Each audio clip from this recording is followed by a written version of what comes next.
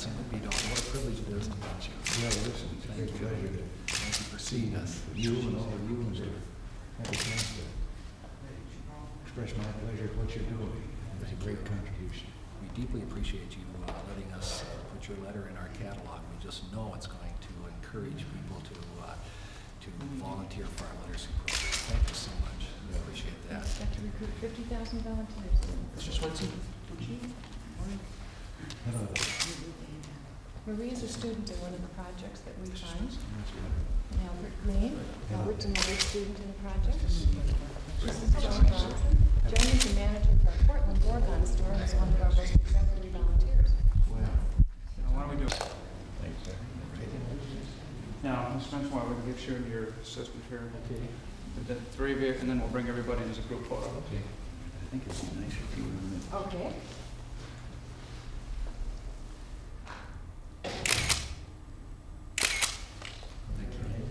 The rest of the group? come in. Over the chair back there.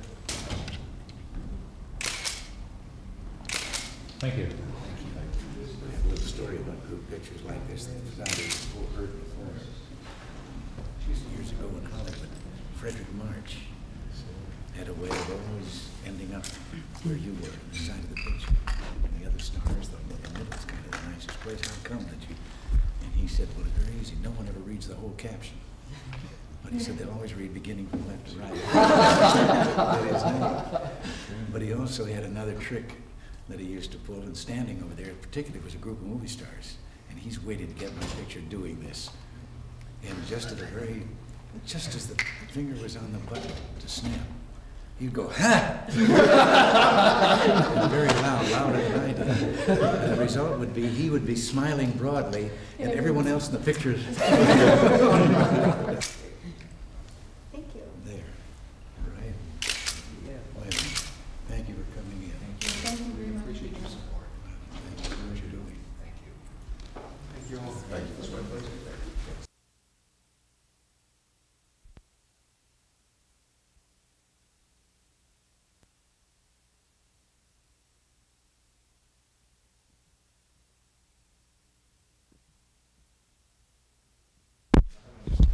Thank you for this part in making it possible for me to be with such a distinguished group of Americans.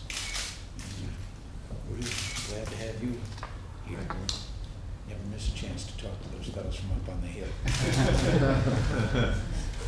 You are particularly unique and is certainly an example, and a wonderful example for others in all that you've done and your help, not only with regard to Israel, but to the needy here in our own country.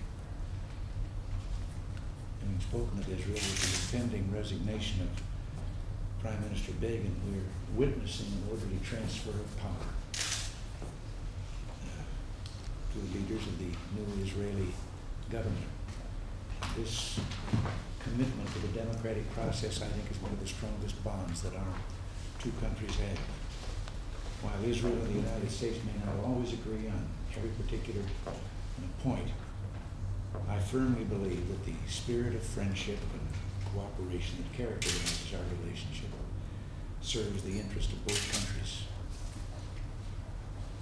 This relationship is based on a bedrock of common values and common interests and our dedication to the security and well-being of the State of Israel commitment to Israel's security and well-being has been, as you well know, a cornerstone of American policy in the Middle East since the creation of Israel in 1948, and the United States played a key role in that creation.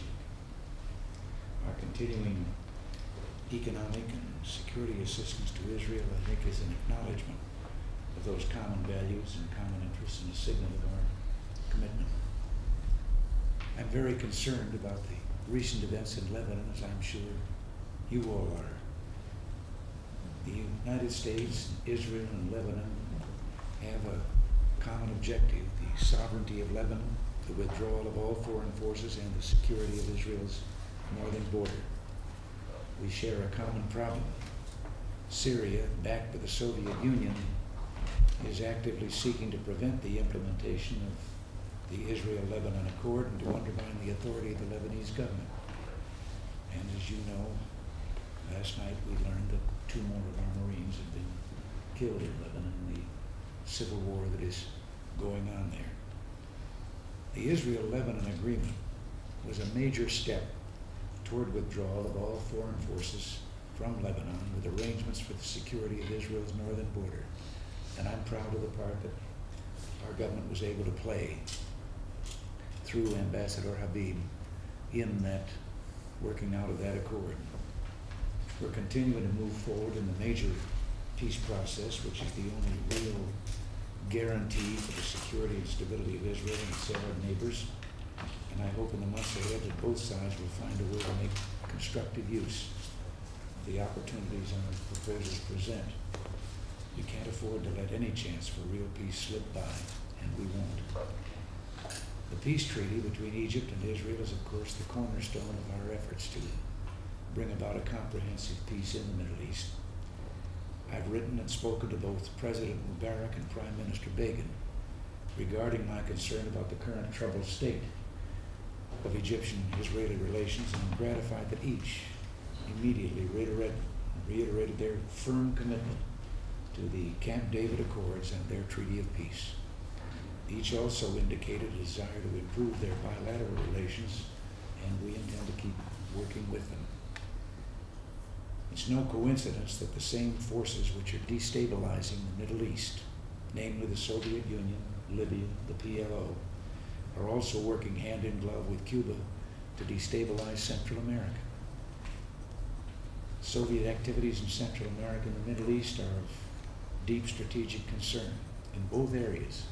The Soviet Union challenges our interests both through direct involvement and through proxies such as Nicaragua and the PLO. In both areas, we're working with Israel to counter Soviet troublemaking. And now, before I go any further, I would like to extend for Nancy and myself our best wishes to all of you, your families, as you celebrate the Jewish high holidays. Rosh Hashanah is a call to every Jew and in a larger sense to all mankind to return to the fundamental goals, principles for which we were created and toward which we all strive. It's a time to re-examine the year past, look to the one ahead in the spirit of prayer and hopefulness. So may the year 5744 bring health, prosperity, and peace to you and your families. And I thank you for letting me ramble on here, and now I know there isn't much time left, and maybe in a few minutes, some of you might have a question or two. Well, two things, one, Good to see you, sir. Good to see you. Your hands full. Huh? Wrestling them up one side and down the other. Yeah, sometimes they're a little worse than others. It's almost like being a governor. Yes. Mr. President. Well, sit down. I know this young man. quite well. I'm very favorable. Well, your time's up, George. Never had the opportunity to get. Beautiful job. Thank you. Thank you. I'd, uh, I'd